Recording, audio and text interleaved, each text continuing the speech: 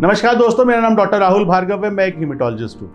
आप सोच रहे होंगे हिमेटोलॉजिस्ट क्या करता है, ये कौन सा डॉक्टर होता है? एक ये नए प्रकार का डॉक्टर है जो शायद 1999 में जिसका जन्म हुआ था इस देश में, पर अमेरिका में ये 1950 से अब बुढ़ापे की तरफ़ अग्रसर है। हिमेटोलॉजिस्ट मतलब ब्लड से संबंधित रोगों का डॉक्टर जो आपको बताता है कि शरीर में लाल खून पीला खून और सफ़ेद खून से कोई भी प्रॉब्लम हो लाल खून कम हो गया हो जिसे एनीमिया कहते हैं ज़्यादा हो गया हो पॉलीसाइथीमिया हीमोग्लोबिन ज़्यादा अट्ठारह उन्नीस भी एक खराबी है प्लेटलेट कम हो जाना हम सब जानते हैं प्लेटलेट ज़्यादा हो जाना भी परेशानी है डब्ल्यूबीसी का कम होना ज़्यादा होना और इन ती, तीनों चीज़ों का एक साथ कम होना जिसे पैनसाइटोपिनिया या एप्लास्टिक एनीमिया कहते हैं। इन बीमारियों को हीमेटोलॉजिस्ट आए दिन रोज देखता है। देश में आज भी पैंसठ प्रतिशत लोग एनीमिया से ग्रसित हैं। हमको एक एक लोगों को हीमोग्लोबिन को 12 तक पहुंचाना है और देश को एनीमिया मुक्त बनाना है। ये हीमेटोलॉजिस्ट करता है। साथ ही में हीमेटो ऑनकोलॉजिस्ट मतलब हीमेटो ऑनकोलॉजिस्ट मतलब कैंसर का भी एक सब स्पेशलिटी जिसमें लिम्फोमा मतलब गांठों का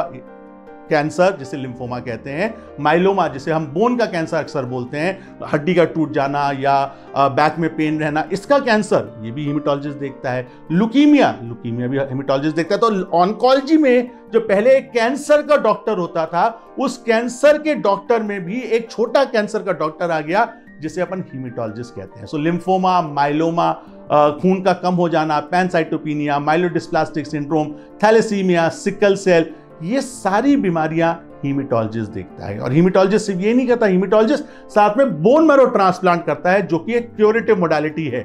लुकीमिया में 70 प्रतिशत लोग लिम्फोमा में 70 प्रतिशत। लिम्फोमा एक गांठों का कैंसर जो अक्सर मेडिकल ऑन्कोलॉजिस्ट के पास या कैंसर डॉक्टर के पास जाता था।